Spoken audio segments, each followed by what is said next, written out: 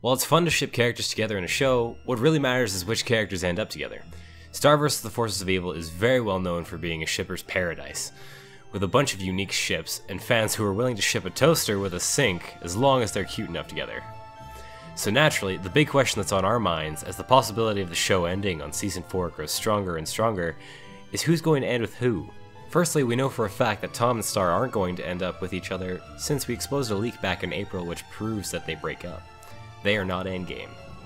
Most fans ship Star and Marco together, so chances are they'll end the series being boyfriend and girlfriend.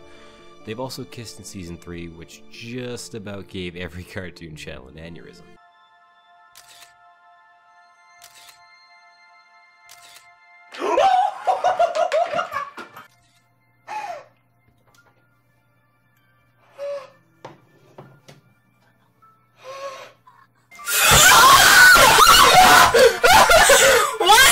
I don't believe that Tom will end up being alone by the end of the show. That would make his character seem far more tragic than it should be. Tom has become a better character throughout season 3, and he deserves someone to be with.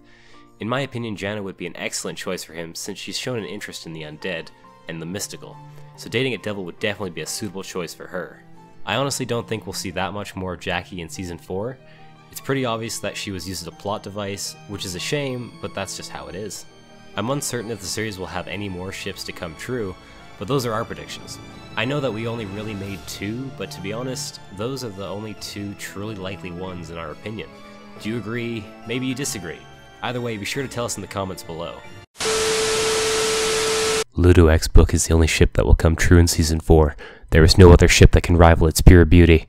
It's flawless, it's perfect. The book may be a little singed, but Ludo and the book are endgame, and if you disagree, get off our fing channel.